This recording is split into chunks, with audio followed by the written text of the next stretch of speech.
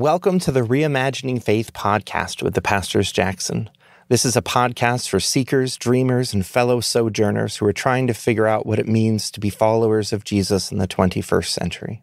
We're recording this episode on June 16th, uh, just three days before June 19th or Juneteenth. And one of our deepest convictions at Open Table UCC is um, a commitment to the ongoing work of being anti racist. And I say ongoing work because um, we don't reach some kind of um, place of some final destination. Right. I'm disavowed um, of white privilege and white supremacy, and now correct. I'm made perfect. yeah. Um, but really, just this this commitment to keeping at it, to keep showing up, to keep. Mm um, doing the work of confession and repentance and um, taking steps forward to creating a better world. We want to take uh, this this week to tell some stories about our own experiences um, of our of our coming to understand our whiteness, to coming to understand our place in the world, as well as our experiences of really coming to grips with our convictions that we have as followers of Jesus specifically to the responsibility we have to work at being anti racist, um, especially as white folks who, in many ways, have the choice um, mm. whether or not to engage in this work. That's a privilege, by the way. Um, and we are two white pastors who are experts at our own experience. We yes. are not experts at anyone else's experience. We are not experts at being a Black person in um, in the United States in 2022, but experts in our own experience. And so we are going to try our hardest to speak to that place and not to anyone else's experience unless we are directly quoting them uh, yeah, and I'll put a we'll put some links in the, in the description and the show notes below for some podcasts that you can listen to, uh, recorded from people of color about their own experience in their own words. That if if you'd like to hear more and learn, kind of try to continue to figure out the places where your blind spots are. Hmm. Yeah. So, what is Juneteenth? Juneteenth, National Independence Day, which was officially recognized as a national holiday on June 17, 2021, happens every year on June 19th. Um, this has been celebrated for a much longer time than hmm. that, but um, yeah. our country officially recognized it as a national holiday just last year. And so um, this the story, if, if you are not familiar, um, is that what many of us know um, and have learned in our history classes is that a, uh, President Abraham Lincoln pronounced the Emancipation Proclamation on January 1st, 1863, that officially said that slavery was no longer legal. Uh, that institution institutional slavery was not acceptable uh, at that time. Hmm. And so, just like that, all of the slaves, all of the enslaved people in our country were freed, right? A hundred percent. Because 100%. Abraham Lincoln was such a wonderful person who cared deeply about the inherent goodness and worth of every human being, and not at all because it was a great military strategy to uh, take away the forced military service of people in the South. Correct. Yeah. Uh, and, and hopefully you heard a bit of our uh, tongue in cheek tone um, because no, that actually is not what happened. Um, and uh, you'll notice I said January 1st, uh, 1863. But it was not until June 19th, 1865, so like two and a half years later, um, almost exactly to the day, was the official announcement of Union Army General Granger Gordon in Texas to say that uh, slavery was no longer institutional slavery was no longer yeah. legal. So the people who were enslaved in Texas didn't get the word yeah. about their freedom for two and a half years. Yeah. So they were free, but didn't know it. It took two years to get there because Texas was the last state of the Confederacy with institutional slavery. Um, it's actually the reason why there's a panhandle in Oklahoma was because the the line that the the agreement they had made years prior that any state below this particular line, geographic line, would be a slave state if they chose to, and anything north would have to be a free state. And so Texas li- technically had a little bit of property above that. And so it would have made them a free state, but they wanted their slaves. So they gave up that tract of land to Oklahoma so that they could be a fully slave state. So, two and a half years later, after the Emancipation Proclamation, um, Texas was informed that they too were free. And the following year uh, in Galveston, Texas, uh, this June 19th kind of became this Independence Day that actually was an Independence Day. So it it became this this holiday in many communities that celebrated um, the African American experience, that celebrated the celebrated culture, celebrated uh, and commemorated this emancipation of enslaved African Americans in the United States. And, you know, the ways that it has been celebrated um, ranges anywhere from super awesome cookouts to church services to uh, community gatherings. It's now a national holiday, which is is pretty great, but it has caused us to pause um, as we have been thinking about what this holiday means to us. It it feels a little bit less celebratory. Uh, and a little bit more of an invitation to do some internal investigation, mm. maybe. I don't yeah. know if that's the right way to say it. Yeah, interrogation might be a more apt word. Yeah. Like where where has been my place in all of this? As a white middle class woman, uh, as a white pastor in the Christian church as I have known it, as someone who at different points in her life has identified as someone who is not racist, hmm. uh, as someone who is identified as racist, as someone who has desired to be an ally and continues to make so many mistakes, um, big and small. What does it mean to follow Jesus as an anti racist? Uh, the church has not oh, it it is not, and and still continues, honestly, to to be a tool, a a place where racism is sanctified, and maybe not overtly, uh, but certainly institutionally, certainly um, in culture. Um, yeah, I mentioned in. Um, well, actually, this was I mentioned this in a uh, my other podcast, the Down the Wormhole podcast, that that white supremacy is not a problem that the church faces. It's a problem that the church invented. Hmm. We birthed white supremacy. We created the idea of whiteness itself.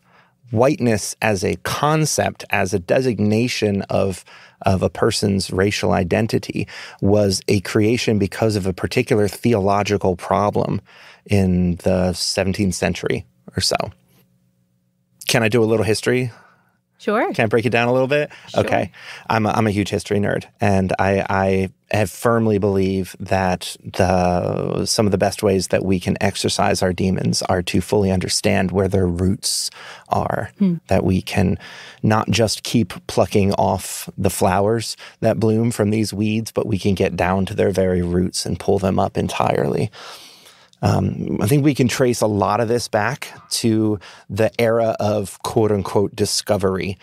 Um, from from Europe when when they first sailed across the Atlantic and found this great continent full of fertile soil and trusting people, and we as Europeans who were on this overcrowded half a continent hmm. um, full of war and hatred and violence needed more places to go spill out our war and hatred and violence. And so we started colonizing those places.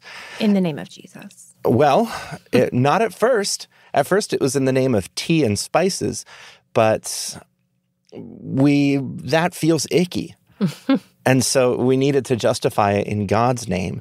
And so it was Pope Nicholas V, in, in starting in 1452, released a series of papal bulls, which are not actual bulls; they're they're statements, they're declarations of of truth. And he was writing to the the King of Portugal, King Alfonso, and he gave him permission. And I quote from Pope Nicholas to invade, search out, capture, vanquish, and subdue all Saracens or Muslims and pagans, or Africans and North Americans, whatsoever and other enemies of Christ, wheresoever placed, and the kingdoms, dukedoms, principalities, dominions, possessions, and all movable and immovable goods, whatsoever held and possessed by them, and to reduce their persons to perpetual slavery.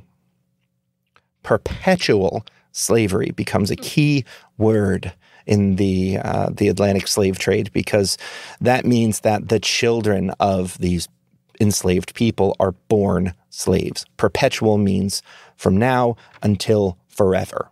Hmm. And so they used that that papal bull and a number afterwards to to create a theological grounding for this work. This is where the idea that you know this is this is our divine right to be in this place, and that these people, they are not fully people. They are infidels. They are pagans. They are less than human. And it is our divine right then to use them and subjugate them like cattle. Hmm. And so this is the beginning of it. And so they start shipping over millions and millions of African people to um, to the, into the, mostly into the Caribbean, where the working conditions were so awful. People only lived a couple of years, and intermixed throughout um, these African enslaved people were Europeans who were indentured servants. So indentured servants are people who um, maybe they're working off a prison sentence or a debt or something like that, and they are to work for X amount of years, and then their debt is forgiven. Um, so you know you stole something in in in France, and now you have to come over here and work in the cotton fields for seven years, and then you're free. So then there's this weird dynamic then between people who's who are Christians, and then people who are indebted forever hmm. to be servants. And there was some fear among the slave owners that the there would there would be an uprising in that. And so in order to keep those two classes of group of people separate, they needed to give certain rights to the European indentured servants that the African perpetual slaves did not have. And in that way, pit the two against each other. Hmm. So that the the indentured whites would uh, would still feel superior to their peers and not organize with them any kind of rebellion or revolt. Yeah. so now we're starting to see tiers. But then it gets even more complicated because in the in the 1670s, you've got these Christian missionaries um, like George Fox, the Quakers were really into uh, this sort of evangelism, where they would go into the plantations and they would preach the gospel to these enslaved people who, for the most part, wanted nothing to do with it. Because, of course, mm. why wouldn't they? But this is problematic because the law, as passed down by the church, is that you cannot perpetually enslave Christians. Mm. The law that the Pope sent out and that all of the um, the doctrine of discovery is based on is that you can only do this to Saracens and pagans. So hmm. Muslims and black people, essentially. You can make them be perpetual slaves. But if they become Christians, well, then that's a problem. So at first, they were outlawed from preaching there, but that didn't work. You can't outlaw Christians, they just fight back. So then they outlawed conversion and that didn't quite work because they were meeting in secret. And the way that Christianity does, it's a religion that just it doesn't work well under oppression. Um, it, it carries within it its own seeds of liberation. And so eventually they had to rewrite the laws. They had to figure out a way to keep these Africans enslaved forever and these indentured servants only for a little while. So the laws, as they started to be rewritten in that time, defined indentured servants as whites and perpetual slaves as blacks. And that is the first time that that distinction is made. So the distinction of whiteness, of being a white person, is created by slaveholders because of a theological problem of wanting to own human beings, but then having to try to figure out a way of not owning people that look and sound like them. Because, like, if you asked people during that time what they were, they would say, I'm an Englishman, I'm a Frenchman, I'm an Irishman. Mm. And then if you pushed them further, they might say, I'm a Christian. But they had no, no concept of whiteness they saw themselves as where they had come from. You know, if, if you told if you confused a German and a Spaniard as both being the same thing, as both being white, oh, they would have spit in your face. Of course, they're not the same thing. Each individual country has been at war for hundreds of years. They've hmm. got their own identities, their own cultures and foods and songs and languages and all of that. They all saw themselves as different. Whiteness is created on the plantations by the mm. slaveholders in response to a theological problem. Mm.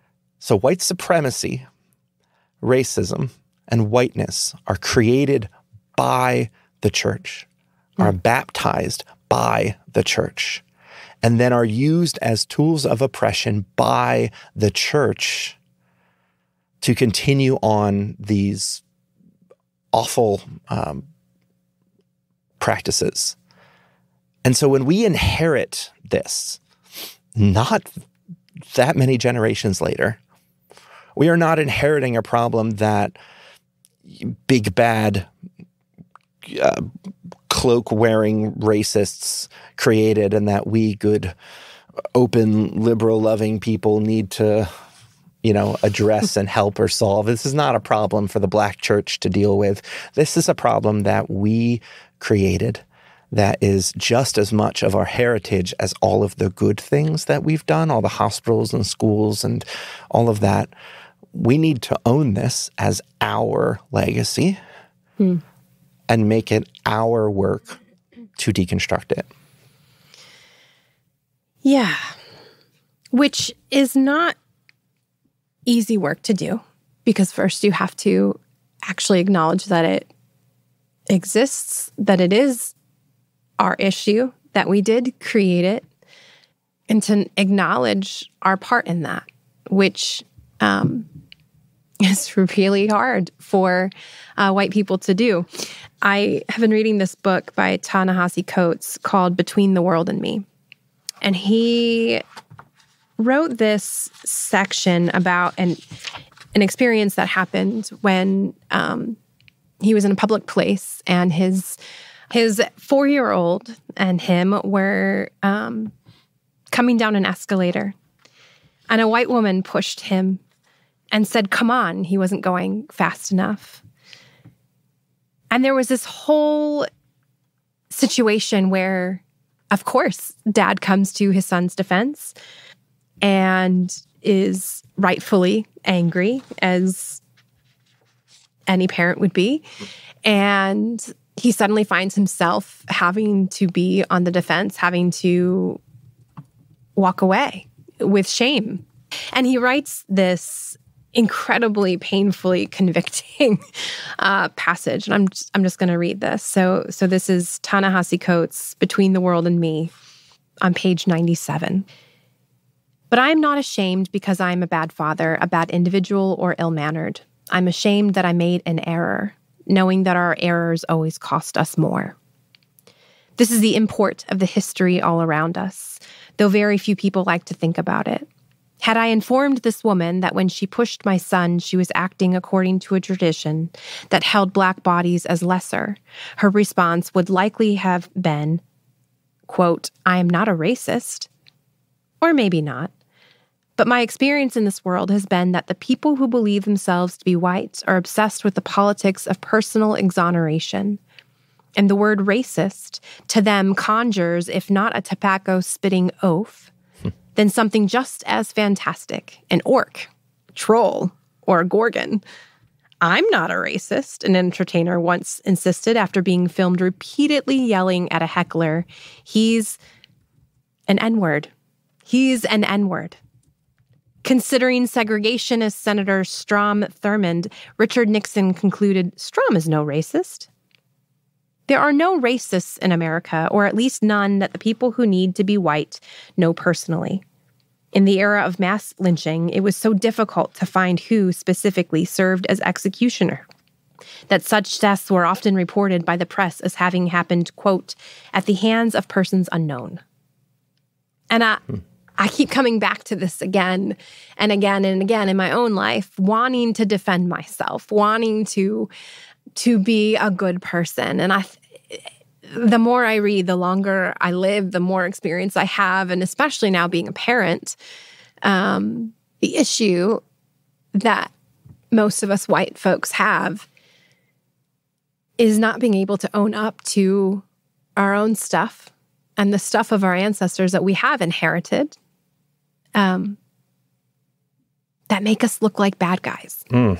that make us look like we aren't kind hearted, that we aren't generous, that we aren't hospitable, that we aren't Christian. To admit these things, I think in our minds, makes it so that we're not who we thought we were. Mm. We are so fragile. Yeah, it, it's it's it's this fragility, this this if I did something bad, I am a bad person and therefore have no responsibility in changing anything. It's just who I am. And just who I am, you're saying is bad. Hmm. And because I don't want to be bad, I'm not racist. Even though we all hold prejudice, we all hold bias, we all within ourselves, like we cling to the familiar. We cling to the things that we understand and can make sense of. And so I want to share a story that happened about 17 years ago um, in my life. I was living in North Lawndale, a, a neighborhood uh, in Chicago. And uh, this neighborhood was primarily African American. I was partaking in a year long urban mission program called Mission Year. And I lived in a apartment with uh, five other young adults, um, all who were white, to I guess really just be immersed in a culture that is that was not our own. And and one day, uh, my one of my roommates and I were walking down the street. Um, we were walking back from like the dollar store or something, and we weren't, you know, dressed professionally. We were just, I mean, maybe jeans, sweatpants, whatever. And a cop pulls over and starts questioning us. Hmm. What are you doing here? And we would respond, "We live here." Um, and he looked at us suspiciously and and like, where? And so we told him what street, and he said, where? And we told him our address. And then he asked us, and where is that? And we were literally like a block away. Um, and so we literally pointed at the house. We live right there. and he said, why? Which I've never been asked why I live in a place, but um, because we live and work here. And he asked again, why? Like this, inter- the interrogation um, just only made us more angry, not necessarily scared, angry. And our responses became more defensive. They became a little bit more arrogant, um, a little more testy, a little more frustrated and annoyed. Um, and eventually, we told him we we are living here for a year um, to uh, to learn about the area, to do work here, to get to know our neighbors and everything. And he said, "You sure got the short end of the stick." Hmm. And I remember thinking, "Wow." this cop surely sees this community um, in a very specific way. Uh, the the very person who is has been sent here to protect the people of this community does not have a very good outlook. And I very we we gave him quick responses, um, and eventually he left us alone and he drove away. And I remember being so angry that how dare he? How dare he ask me why I live in a place? how dare he insinuate that this neighborhood is is bad? How dare he um, question me about my intentions for walking down the street? And years later, I look back on that experience um, with a bit of shame, a bit of embarrassment, not because I deserved better respect than that, the kind of privilege and flagrant responses that I gave to this cop. I, I recognize that, you know, I was not brought up to be afraid of police. I was afraid to I, I was raised to be to see them as protectors, to see them as heroes and people to people to try to be like. But in that particular situation, I was an outsider. They didn't hurt us. They didn't um, try to arrest us. They didn't come to investigate our house to make sure that we were telling the truth. And and I did not recognize in that moment that my willingness to be disrespectful and even defensive without even thinking twice about it, without even thinking that this might have consequences, severe consequences. That was that was a privilege. That wasn't a given. Um, I mean, it was given. It was given without me asking for it, and one that I I took at face value. I also recognized that I was living in a place that I chose to come to mm. and that I chose to leave, which was not an option for folks. This neighborhood was home to a lot of violence, a lot of drug trafficking. It was a poor community. And I felt like I needed people to respect me, mm. as if that was the most important thing. Mm-hmm. Um, it was naive. It was it was it's embarrassing. A little colonial. Yeah, yeah. Um. So even so, so now I even question what right I had to even be there. Like what, like this experiment of spending a year in a place that's not my own and pretending that I'm doing something good there. What right do I have to do that? Like who who was this experience even good for? Yeah. Yeah. Um, like I, have had similar experiences with like short term mission trips. Right. And it's like, all right, well, we're going to go help these poor people in Tegucigalpa because they can't help themselves. They can't even mm. tie their own shoes. They're so poor and destitute. And we're going to show up and a bunch of 16 year olds are going to build a school for them and give them our old t shirts. And we're going to save the day. When the point of the whole thing was never to help them, it was to broaden our horizons as if the rest of the world exists only to educate white people, to help us. Because we're so good, we're so righteous, and not recognizing how derogatory that was. Like I was seeing that neighborhood the same way that cop was seeing that neighborhood mm. as something to be saved, as something beyond redemption, as if there weren't actual people living there.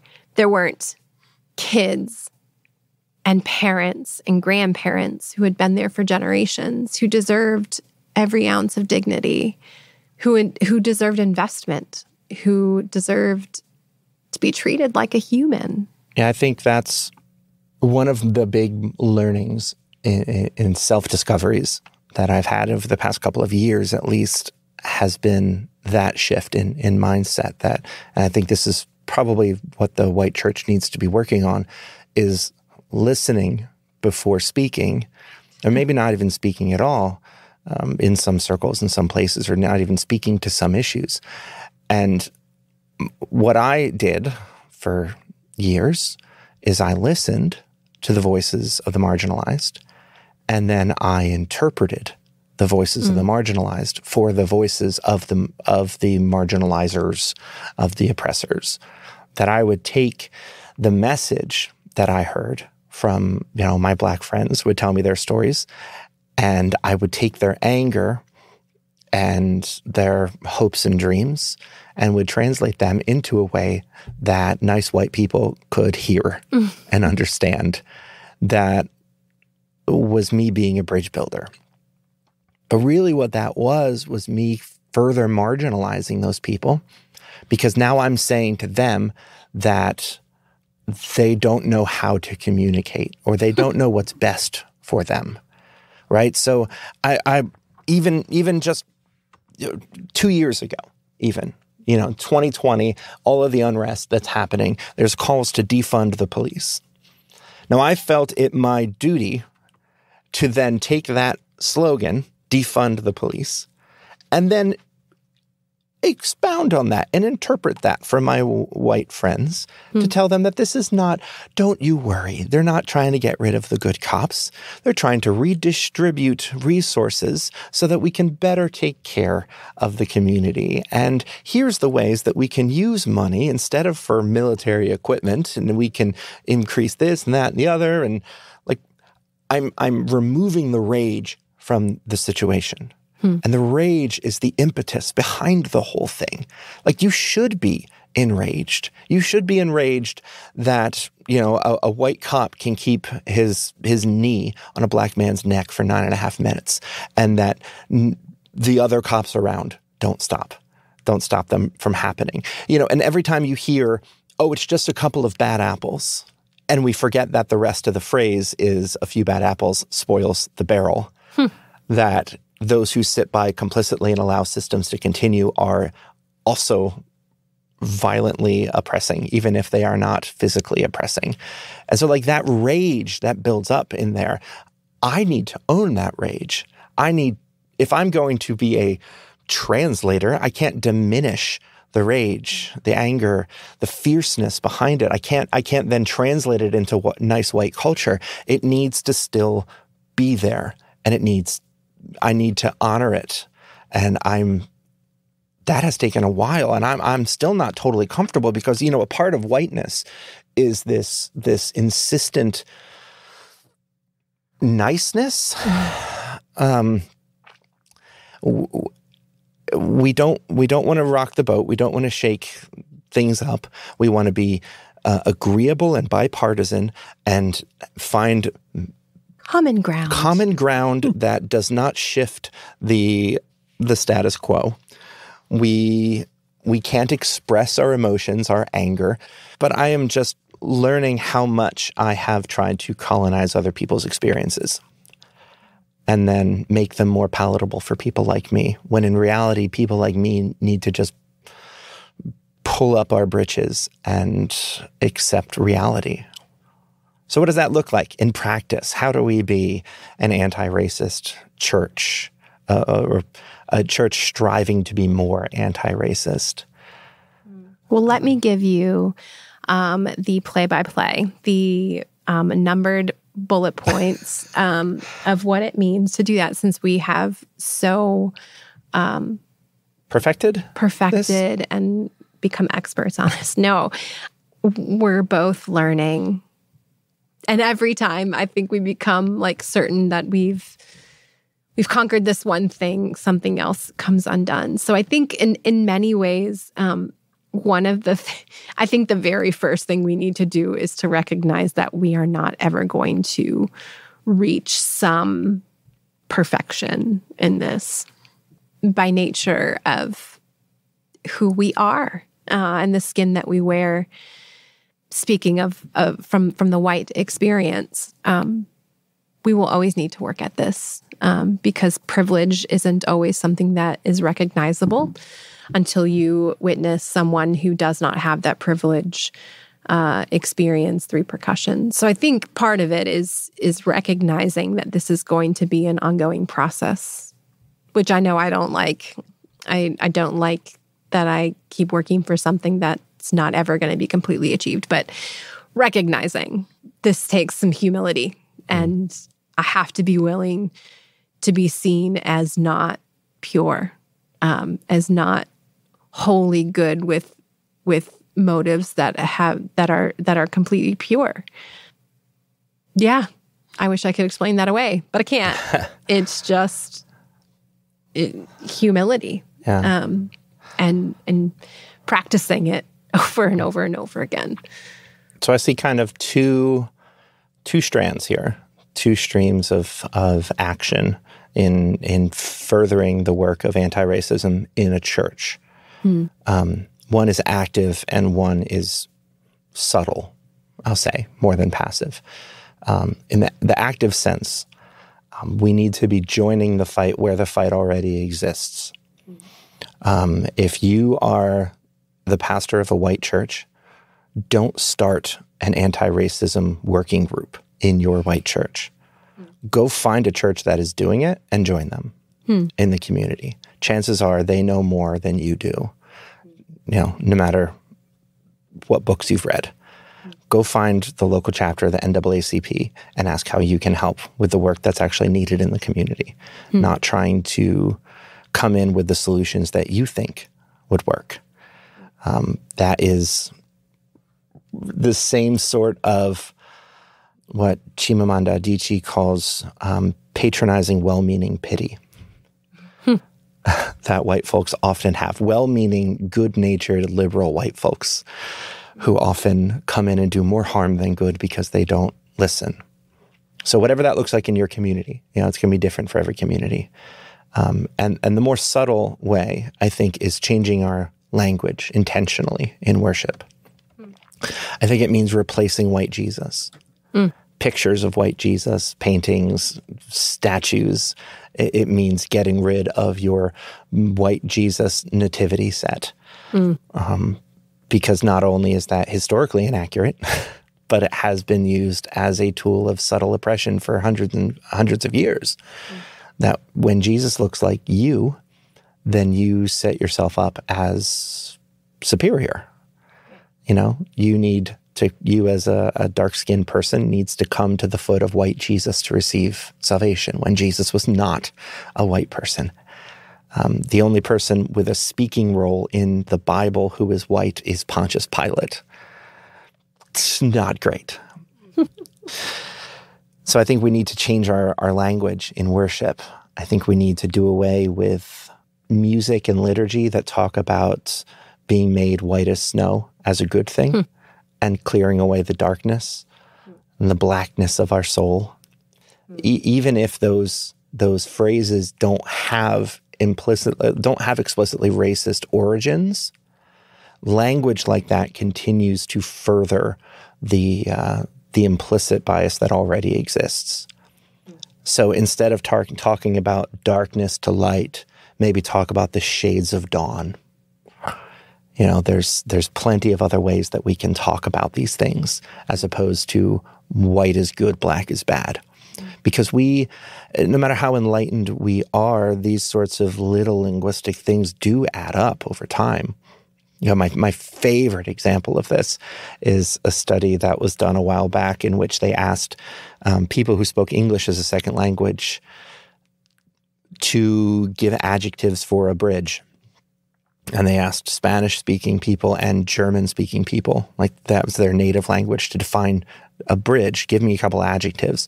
And the only difference between the two people is that in German, and I and I hope I'm not getting this confused, um, the word for bridge is feminine, and in Spanish it's masculine, and it's just it's just grammatic. It's not they don't have genitals. It's just grammatic uh, nouns.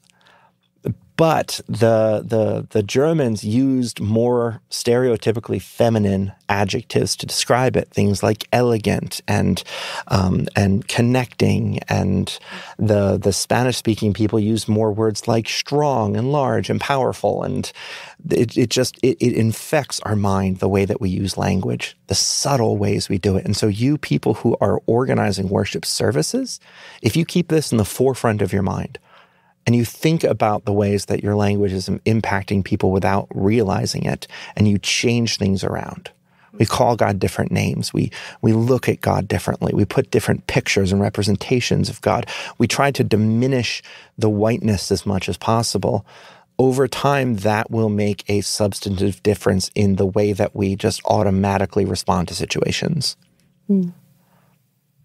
And I think at the root of of the the actions that we take what i think is really really important is to center voices of color which you know if you are a homogenous group of uh, white christians you know what are you what are you nourishing your spirit with? Are you hearing voices of color? Are you reading voices of color? Are you interacting with people? Are you intentionally placing yourselves in in in spaces where you are not the majority person? Yeah. One of the things that I've seen white churches do quite a bit is um, take on like a buddy church, like a predominantly black church.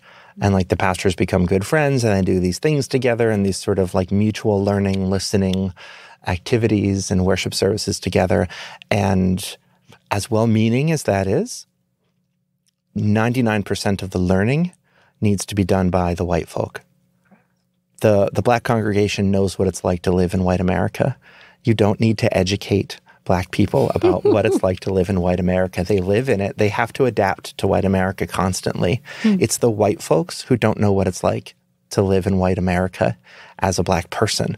And so those cultural exchange programs are so often billed as like ways of learning each other's world when in reality it ends up being the burden of it is on the black church to educate the white church so the white church can feel better about its whiteness and that it is reaching out and trying. So if you are going to do something like that make it more one way. Make mm. it more service based servant based how can we help you? How can we serve you? How can we you know help you as opposed to how can we help each other? Going back to that humility um, in your listening listen with humility. Um, i know that you know back to that whole like white exoneration like we want to believe that we're good people when I listen to a story or an experience that a person of color is sharing with me, and I either try to explain it away or I take some pride um, in being able to name what was wrong, or or even when there is a a suggestion or a question that something we did hmm. was racist. My gut instinct is to to defend myself, to explain it away, to say, oh, that's not what I meant, da da da. da. Like, listen, listen, and allow yourself to show up to that. Allow yourself to consider what the person is saying.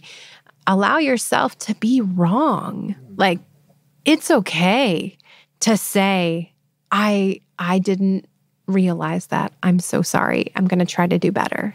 Yeah. Like if we can't do that, we cannot make progress. And so many times the same people who will say there is no such thing as white privilege. There's no such thing as white supremacy. I'm not inherently racist by being a white person. I didn't inherit anything. Well, then in the same pulpit, tell you that you are born inherently sinful and that you require the salvation of Jesus Christ in order to overcome this inherent sinfulness that you inherited, that is systemic and that is within all of us in the systems that we um, that we have, and like the cognitive dissonance there. Yeah, you know, I heard somebody say that. I'll tell you that you can trace your sins back to Adam, but not to 1619. Mm. yeah. Right? and so, like, just in the same way that it is so easy for Christians to say, I am inherently broken, I am living in a broken world, and I need Jesus to save me from this, from my brokenness personally and my pro- brokenness societally. and I need to have humility to recognize my own brokenness before Jesus can save me. So, too, in just about the same exact way, um, although I don't really believe in original sin, the concept rolls over almost one to one to hmm. to this. You as a white person have inherited systems of racism that were created by the European and American churches. You have benefited from it. And the only way to get through this is through humbly admitting that and then a lifetime of work to overcome it, just as it is a lifetime of work to overcome your sinful nature. Hmm. And just in the same way, it requires community and it requires the grace of God.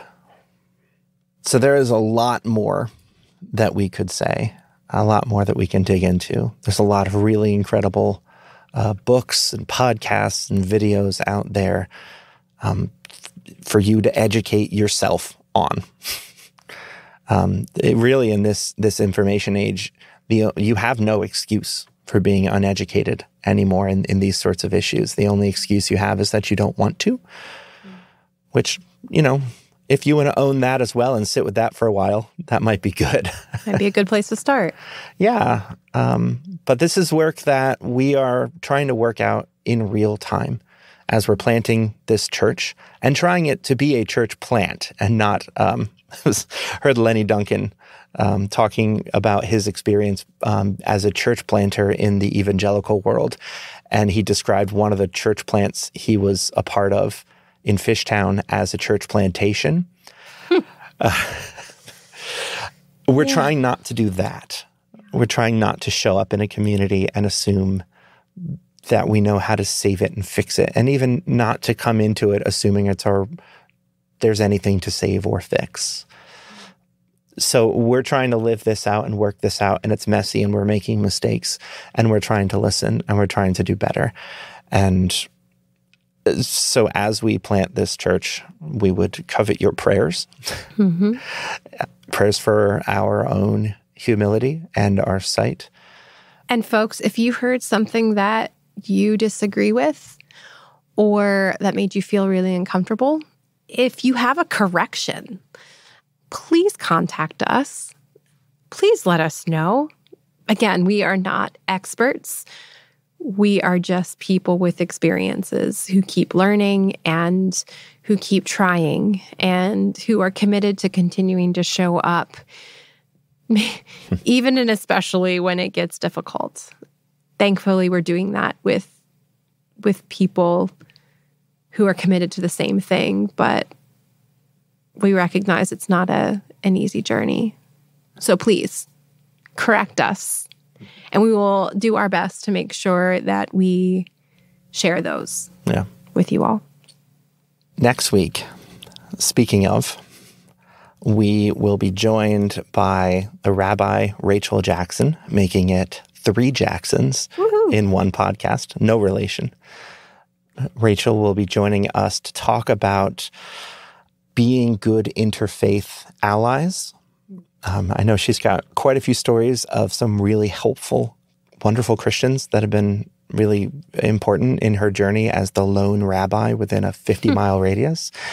Um, and also some stories of some very well meaning allies who ended up doing more harm than good. Um, Rachel has been so helpful in my own journey in pointing out all the ways that I am was not a very good ally and hopefully am a better one now. And so make sure you tune in then. It's going to be really wonderful. And I mean in 2 weeks, not next week. Mm. It's in 2 weeks because I'll be away next week. Yes. be well friends. Thanks for journeying with us.